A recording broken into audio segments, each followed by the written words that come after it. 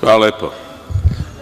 Imamo interesantan dan u parlamentu, veliki broj amandmana koji predlaže vladajuća većina, odnosno samo jedna stranka, poslanici samo jedne stranke koja čini vladajuću većinu, ostali su uskraćeni za tu mogućnost, a sve te amandmane je Vlada Srbije odbila, ali i dalje slušamo nadahnuta obrazloženja predlagača. Neki pogreše pa pozivaju da se glasa za te amandmane, iako znaju da će sami da ih povuku ili su ih već povukli, a drugi to koriste za promociju velikih uspeha vlasti. Ja mislim da je to potpuno legitimno. To je potpuno legitimna stvar. Svaki narodni poslanik ima pravo da podnese amandman, može da napiše ono što misli u tom amandmanu, ma koliko to bilo besmisleno, i može vrlo energično da brani tu svoju besmisao. Naravno, sama pomisao da predlažete nešto što protiv svoje Vlade, znate da će to vaša Vlada da odbije, pa onda to povučete pre nego što se glasa, jedan mali, neću da kažem cirkus, ali jedan mali neobičan događaj, ali zašto da ne, ima tu talentovanih ljudi koji su propustili da budu članovi nekih amaterskih glumačkih grupa, pa to mogu da nadoknade i sada i to je isto deo prava poslanika i to je isto pravo svakoga da ko sedi u ovom domu na svoj način shvata i tumači parlamentarizam, Poslovnik, dobre običaje i sve ono što se inače dešava u jednom parlamentu. Jako je interesantno da se traže olakšice za prihvatanje u naše državljanstvo stranaca koji su investitori. I to je jako interesantna stvar.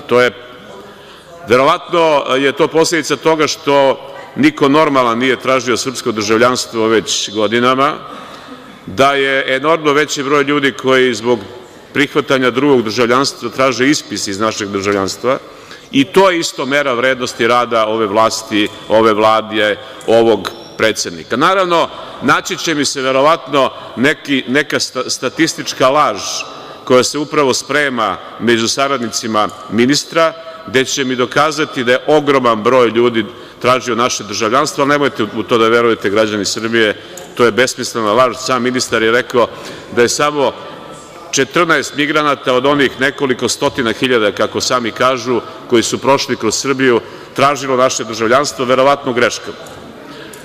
Ali, šta je cilj svega ovoga? Cilj svega ovoga u stvari nije to da strani investitori dobijaju povlašćeni položaj pri prijemu u naše državljanstvo, zato što je to potpuno besmisleno.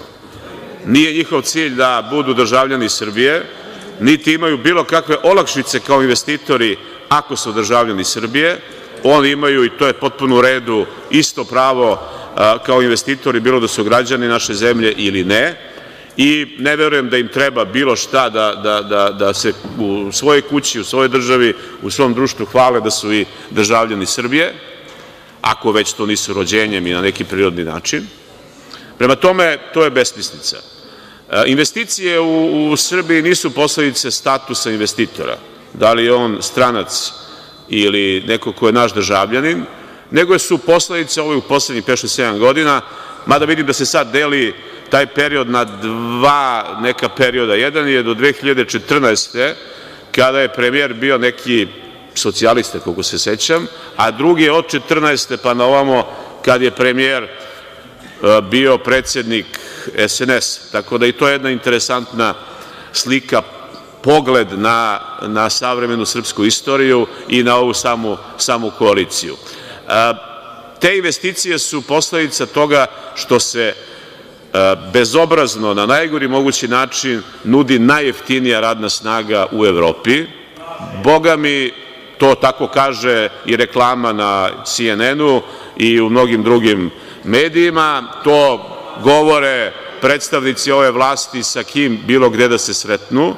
To je znači jedna na ivici trgovine robljem, ali naravno mi nismo u robovlasništvu, bar ne formalno, tako da ne kažem da je to formalno tako, ali te velike investicije koje omogućavaju zapošljavanje hvala, uh, građanima da prime 21, 2000 i da zbog toga ne mogu da dobiju vreme ni da odu do toaleta da izvrše neku svoju potrebu je farsa, kao što je i ova rasprava danas u parlamentu farsa. Naravno, još samo jednu rečenicu, oni koji žele da na taj način izbace opoziciju iz parlamenta greše, mi smo ovde upravo da ukazujemo na sve ovo što radite, a što je katastrofalno za državu Srbiju i njene građane.